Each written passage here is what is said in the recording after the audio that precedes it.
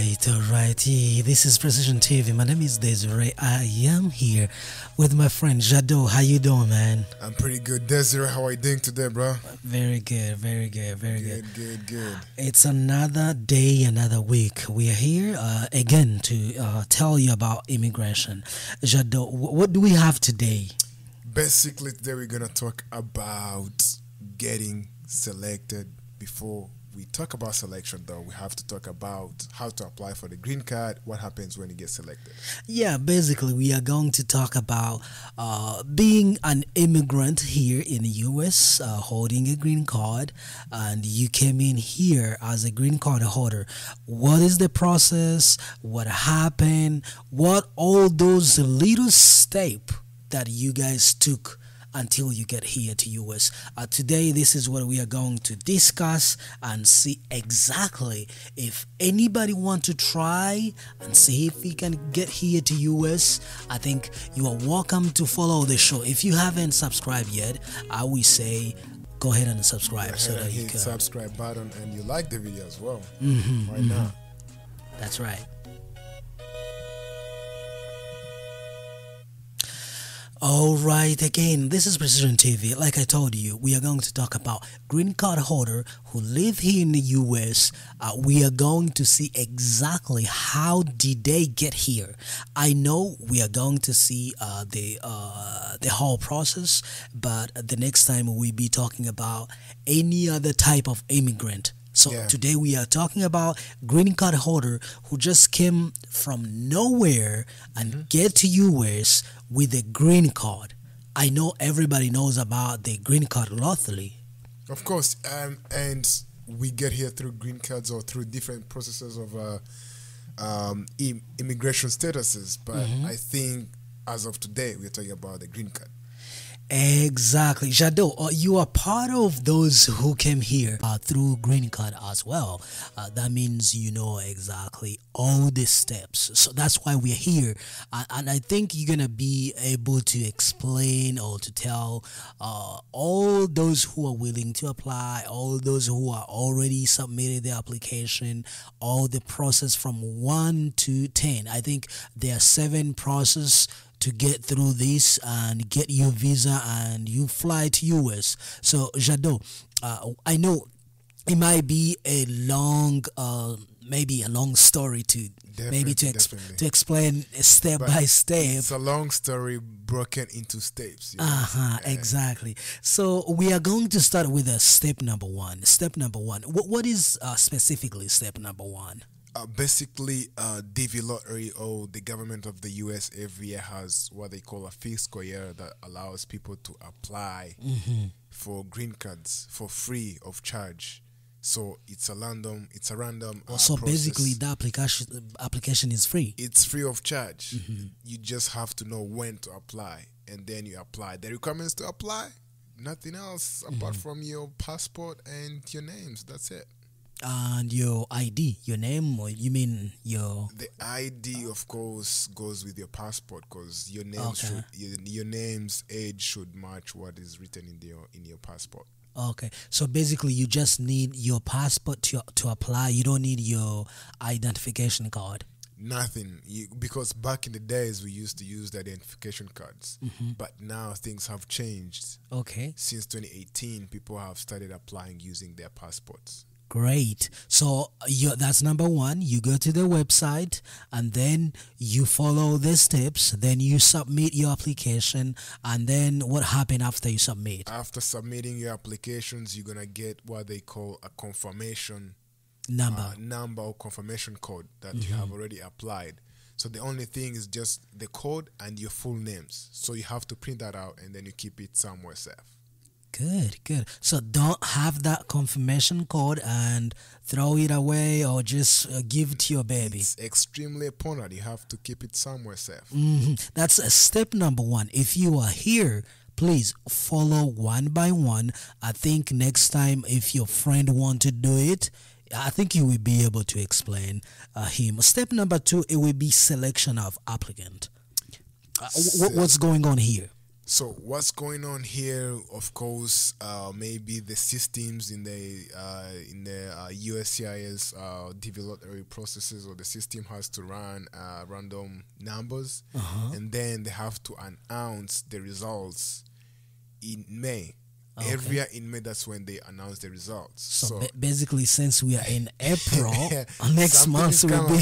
some- something is coming up. Something is coming up. So what happens? Then they're not going to send you an email. Mhm. They're not going to contact you. Okay. You have to stay alert. You have to Be aware. of the informations. Mm. So every every year in May, Mm-hmm. the first two weeks between the second and the third week, that's Okay. when they're going to release the date. So you have to check using the code that you have saved. you have saved before and your names, of course. Okay, and you have to go back to the same website to Same check your status. to check your your status. Now you're not applying; you're checking your status. hmm So basically, as you said, um, uh, you go to the website as a new applicant instead of uh, maybe stating that you are a new applicant. You're gonna tell them that you are checking your status. Definitely, that's what you're going to do because they just ask you like three or four questions. Mm-hmm. It's about your names, Okay. your confirmation code, Okay. date of birth, and just uh, uh, to confirm with the uh, with the characters, and then you submit. Great. So, and uh, that's a, a selection of the applicant. Uh, once you are logged in, and uh, what, what do you see w- w- after uh, wh- when you are checking? Okay. So, step number five it says submit your immigration visa and uh, alien registration application. So now they're talking about the form DS260. So that is the form you have to fill out. Once you get selected, Very important, right? it's a very important information. So before you fill it out, Mm-hmm. you need a couple of things. You need your passport. Okay. You need uh, uh, the criminal record from the Ministry of Justice. So that's number two. Yes, you need a police clearance Uh huh. Number three. and um, your high school diploma, Number five. Number four. and also birth certificate if you're single. Wow. Birth certificate. Yes. And if you're married? If you're married, you need a marriage certificate. Oh, okay, okay, Yes. okay. And also on top of that, you you also need a birth certificate as well. E- even though you are married, you guys have to uh, yes, provide they- those. you have to provide those. But the reason to why you need this to fill out the form is because once you have those forms, the informations, Mm-hmm. the age, date of birth, uh, full names, they'll they'll be matching all those documents before you fill out the form. So the form basically it will be used against you during the interview. Mm-hmm. So they're just balancing the informations and how do they match. Okay, so basically, they are they are trying to see if what you said in your application or what you are saying in application have to match, maybe for further or next step, right? Exactly, Mm-hmm. exactly. Okay, so make sure you are putting something that you already have, something that you're gonna find, something that you are sure that you will find it. Exactly. Don't don't just make up something. Yeah, because it also helps people because some people they rush to into like you know filling DS260, submitting it, then they go to check papers before. Uh, I mean, after, After. submitting it, Oh man. you can still request to edit your DS260, but it's gonna take two weeks before that is the earliest they could reply back. But it's gonna take time before you make some changes. That's not so good. there, what happens is they encourage people to first look for their documents Mm-hmm. before they fill the form. All right. I, I want to remind you all this information that we are using here, you can find it as well on Diversity Visa Program. This is um, a web page that uh, is provided for everybody who want to apply, everybody who want to know exactly how things goes. So if you are anywhere you want to uh, process uh, your application you want probably to check out you want to know what's going on the next step and everything. That's why we're here. We are here to tell you to share with you. Already jado have been through this. He already know this. Uh, he have been granted a green card through this way. That's why he's helping us to uh, make sure that if you're following us please share this video maybe it might help someone else right Definitely, because people uh, some people they even get selected and then they don't even know Mm-hmm. if and then they just let things go away and then they just their chances just flips off their hands because they are not like they forget maybe they get discouraged they don't get they don't get like a real source of information they don't Mm-hmm. listen maybe to podcasts like these ones so of course you need to share this to people because it might help someone else So, Jado, uh, before we go to uh, step number six, uh, what are basically the overview of uh, the step number uh, five or the DS uh, 260? Uh, what what are like a short um, like overview of this application? People might at least know what's going on, even though we are not looking at it, probably Yeah. going one by one. But you already uh, applied it. You already know how it looks like. Yeah. Uh, people might be interested to know exactly uh, what uh, what the basic information, what the basic document do they need to make sure that they are doing the right thing. So basically, uh, when you're filling out this uh, this DS26 on this kind of step, so y- we need to talk about let's say uh, two different individuals right here. Even the third person, I would talk about on behalf of single people, Okay. they're married and divorced or separate. Okay. So the the thing is, for the single person, I think it's easy because you need five or six documents. The documents we said you need to have before you fill out the Yes. form. Yes. Yes. Those documents, when you have them, that will help you fill out this form with without any problem That's that's good. That's for single. for single person. Mm-hmm. But if you're married, Okay. that means the documents you're going to have like to look for yourself. Mm-hmm. Also, your family needs to get them. okay. because let's say you you you will need a, uh, you need a birth certificate for your child you, you A- any child on our list. yes you will need your uh, marriage certificate hmm to your wife Same thing on a wife. Okay. yes so now this where like this is why you have to fill out all the informations from on behalf of your family and you yourself who's going to be interviewed So basically, anything that they're asking you, it's gonna be similar to anyone on your list. exactly Okay, so just let, let let's let's be clear here. Make sure you have everything. Uh, from your family member that you want to put on your case or if you're single that's simple that's only you and uh, or how about when you're divorced uh, probably you have kids you're not gonna go with that's your the, partner That's the real case now. That's where the the real issue comes. Uh, most of the times uh, in Africa, because uh, when you go into like you know when you want you want to try uh, to legally divorce or separate your your partner, it involves a wealth, uh, finances, and everything. So some people they don't do it, but they just try to fix it between themselves, and then they do a, just an illegal separation, right? they, they just do it without a proof Yeah, without proof, or just like you say, you know what, just like to ease things out, let's just you take the baby. I'll be trying to provide a hustle here and then, then I provide some few, Mm-hmm. you know, some few like oh little money just to support yeah yeah the yeah kid. yeah and then they don't do it like through paperwork, through legal um, System. uh, systems. Mm-hmm. So now that's where the, the the big issue comes because now you need your your husband or your ex husband or your ex wife to sign on the documents,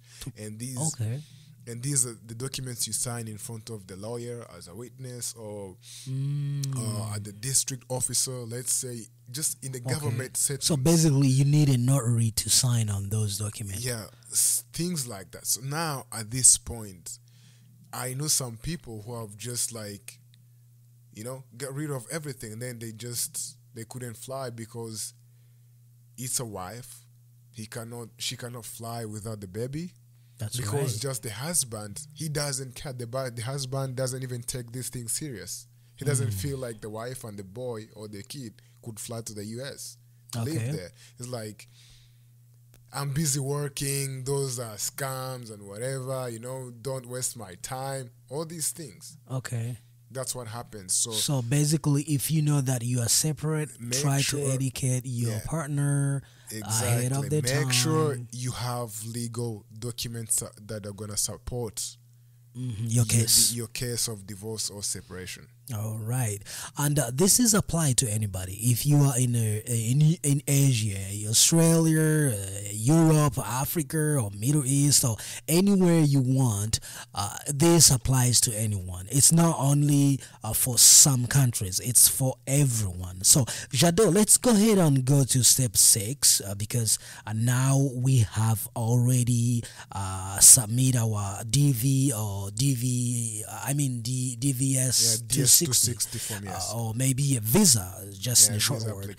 We, we are done with the uh, visa. Now we are waiting, or pro- or probably we approved. Let, let's go to some um, to supporting document. Submit the supporting document. These supporting documents, uh, submission. Does it come? Wh- why now we are going to submit these uh, supporting So, uh, documents? definitely, uh, this is what happens uh, after you fill out your form and you submit it. Mm-hmm. So that now this means like you've got all the papers together. Mm-hmm. So they they uh, the uh, KCC, which is a Kentucky uh, consular, uh, where they take care of these yes, yes. application. and all The. So office, yeah. they send you an email specifically for communication Mm-hmm. and sending your files. That's right. So this is the email where you are going to upload your scanned documents and then you send them over. So you have to do this right after submitting your document. I mean your DS260 form actually. All right, uh, that, it makes sense because if they're talking about the supporting document, that means you have to make sure you are giving the proof of what you have said in your application, right? Exactly. It's like you it's a copy of your passport, copy or copy of your uh, your diploma, your degree, or if you have a master's, who anything, knows, your birth certificate, your marriage certificate. So your- basically, anything that you criminal listed. justice, yeah, okay. yeah, yeah, the, the criminal records from the Ministry of Justice, Okay. police clearance form. That's it. So, Jado, uh, when it comes to the document, I always tend to ask myself. Uh, many countries doesn't use English, Yeah. and we know that America or U.S. use always English in their um, legal, uh, legal, uh, legal way. Uh, so, what happens if my country speaks uh, probably uh, French or, Arabic or you- maybe Swahili? You do translation and then you get that notarized. hmm So they are translated by a notary officer, and Okay. then he or she notarizes them, Okay. and that person should be legally probably known in your country. Of course, of people they recommend some specific people actually, but that's the process. You have to make Mm-hmm. it trans- to get it translated, and then not uh, and then submit it. Okay, okay. I, I was just trying to make sure that Yeah. if you have those documents, uh, it's in your language. Make sure you translate them. Make sure you have um, a professional translator who's gonna do it, and then go to the notary, public notary somewhere uh, in your country. Then uh, submit your document.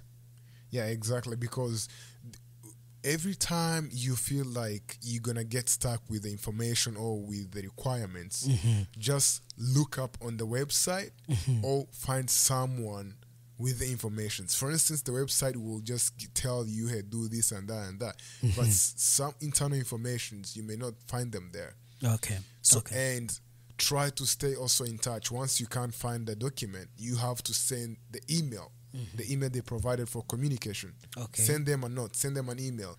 I'm stuck on this document. How can I follow up? How can I move forward?